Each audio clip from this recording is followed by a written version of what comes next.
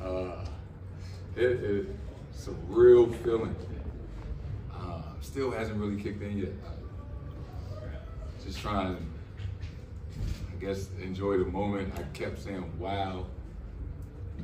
Uh, these last seven years have been a roller coaster, up and down. I had to listen to all the shit that people said about me. And tonight, it was worth it. Oh my God. Was look at you and said, "We did this together." What did that mean to you? Uh, first, first of all, congrats to him. Um, uh, well deserved. Extremely happy for him. Uh, this was this is a hell of an accomplishment. Uh, the main goal for us was to win a championship. Uh, we weren't. We didn't care who, who got Finals MVP. Uh, I know that I, I, need him through this journey, and, and you know he needs me.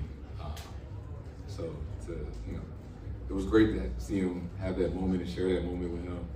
Uh, I'm, I'm extremely happy for him, well deserved. Uh, that was that was big time. He he earned that.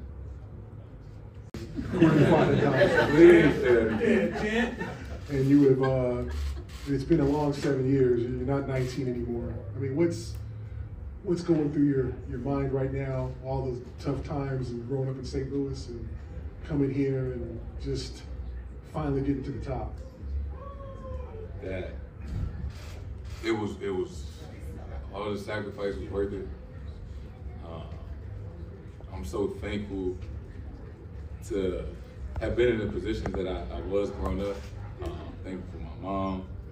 Thankful for my dad putting, you know, introducing me to basketball. My grandmother who helped raise me.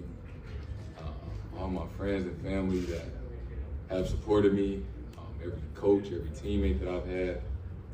Uh, there's a lot of people that have had a hand in the success of Jayson Tatum. Uh, so I guess in this moment, I'm just very thankful for everybody that supported me in the highest of moments and, and, and in the lowest of moments. Very, very appreciative of that.